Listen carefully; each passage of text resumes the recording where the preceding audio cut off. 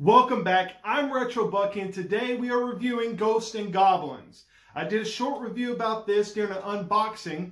You can find that in my unboxing playlist. I'll put a link right here. So check it out after this video.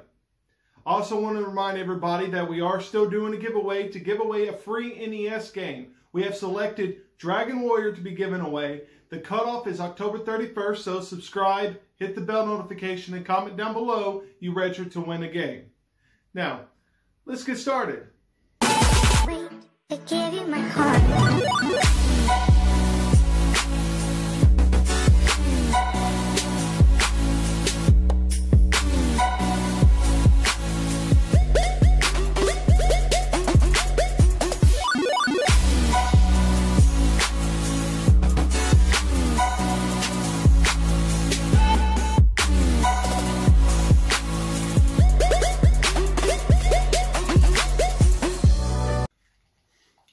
Goblins had to be one of the hardest games that I played as a fat little kid.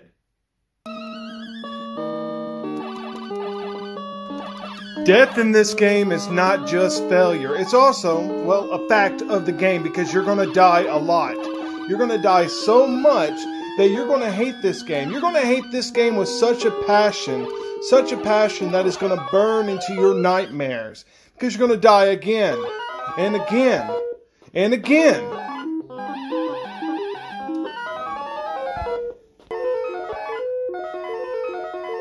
And the platforming, oh, let me tell you, the platforming is horrible. When I want to jump, it won't jump forward. And when I want to jump forward, it almost sends me too far over and I miss the platform altogether. And then I can't make the jump. But this game has been reviewed again and again by a bunch of other YouTubers. So I'm not just going to give it a review. Mine's going to be a little bit of a quick review. However, what I'm mainly trying to do is bust the myth that you can't beat the game without the shield. And I feel today we're going to accomplish that.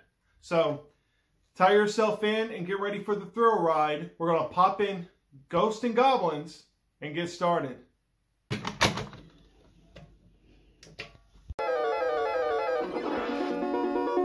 So Satan swoops in and steals your girlfriend, and you have to get her back.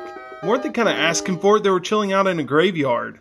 The first level is full of zombies, and this is where I normally farm for the knife.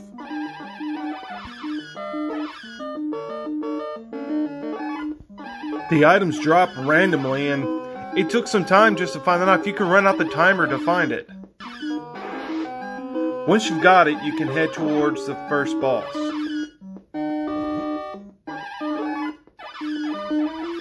fight through a couple more green monsters and zombies, and you'll get to the first boss. And he's pretty easy to kill with a knife. Oh, you hear that sound? That's the timer that means that we farmed too long for the knife, and now we gotta try to rush to the end before we die and have to start back at the beginning. After defeating the first boss once more, we head on towards some platforming. And this may be the easiest platforming in the game.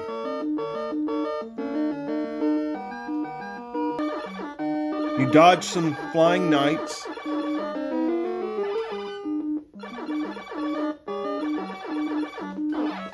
Kill a couple more green monsters. And finally, we'll meet the woody pigs. AVGN said he thought it looked more like pigs in a blanket, but always call them flying burritos.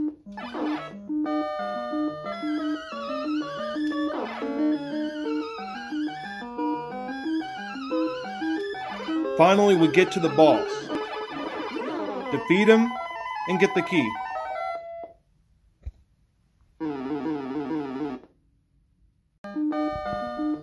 So here we are at a tower. Level 2 is a lot of climbing and is a lot of enemies.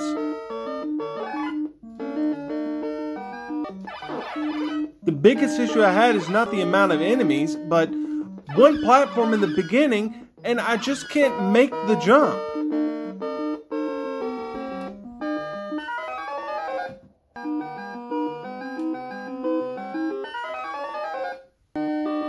Come on, jump, jump, jump, jump, jump, God! I had to jump blindly from a higher point just to make it across, and I barely made it. Next, you're fighting through a house full of imps and climbing through a tower of big men. And there's so many enemies, you gotta take your time. But you can't take your time because of the timer.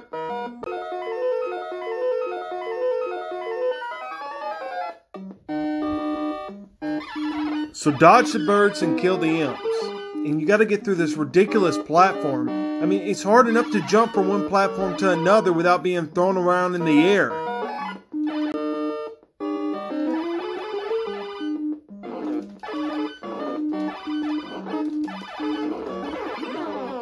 Once you reach the end, you face off with the two bosses, and they're both that quote unquote unicorn. So you defeat them both, and then you grab the key, and then you'll head to the next level. So make your way through the cave, killing a buttload of demons and a lot of flying burritos. They're all over the place on this level. You also have to watch out for the suit of armor that turns you into a frog. It completely leaves you defenseless until it fades away. The boss here is a dragon, and just like Centipede, you have to kill him in sections. Once he's dead, grab the key, head through the door, and you get to the bridge. So cross the bridge, watching out for the enemies. Slay another dragon.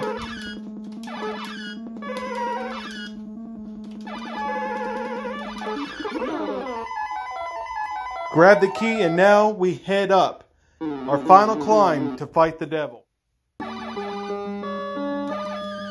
You're surrounded by blue devils, burritos, skeletons, and you have big men waiting for you up top. If take your time anywhere is important, it's here. But the timer is a serious problem. And whatever you do, do not grab the axe. I grabbed it accidentally, and it does absolutely nothing to the boss here. And then it's happy trails back to the beginning to find a knife. After finding the knife and heading back to this boss, I've learned if you take him off screen and slowly bring him back into view, he's frozen for a few seconds so you can get some hits in.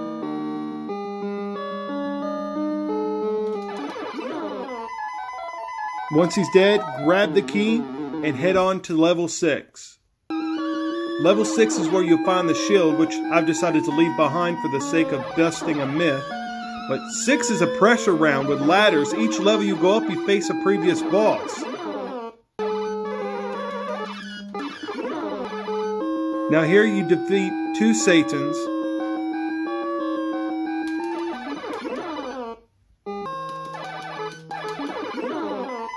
Grab the key, and then it's on to fight the devil. Wait, what? So I guess technically you need the shield to beat the game. I, I, mean, it's just not letting you go into stage seven, but that doesn't mean that you need the shield to actually beat the boss. All right, I'm going to obtain the shield, defeat the boss, but I, I think I got an idea. We're we're going to find a way around this. So I got the shield, and the thing it has a short range, but it does the job. The boss is pretty easy with a shield, but as you see, it's ranged. But it doesn't take much to kill him, and his attack is pretty easy to follow. So there's a level select code that you can use to pick the level you want to go into. So what I'm going to do is I'm going to use that to obtain the knife. And then we're going to take the knife and go straight to level 7 and fight the boss with the knife. And you know what? Just for kicks, we're going to try the javelin too. And let's just see if it's really a difference to not have the shield. I mean, the shield, it's such a short range. You know, the, the javelin and the knife has better range than the shield. So we're going to compare them. Okay, for people who aren't aware about the level select, hold the right button and press B three times. That's Y on my controller. So one, two, three, up, one, two, three, left, one, two, three, down, one, two, three, start. So after you put in the code, you can use AB to select which stage you want to go into. So I'm here at the final stage with a knife, And this knife has great range compared to the shield, and it seems to be doing just as much. And I, I don't really see the difference. The shield seems to be more of a, a letdown than the knife. I mean, the, the makes it seem hard. I even tried the javelin. The javelin is tremendously better. The the range is insane compared to the shield, and it still does just as much damage. I killed him in the same amount of time with the javelin as I did with the knife. The shield took a little longer, but that's only because it has such a short range.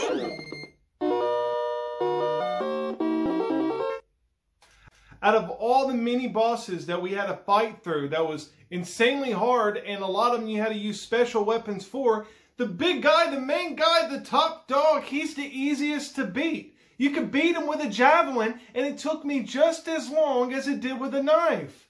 And at least with a javelin and the knife, you had longer distance. Maybe they were just trying to make the game a little bit more difficult by adding a requirement, but I think they were just trying to hide the fact that they had a crappy boss. Well, guys, that'll do it for this video.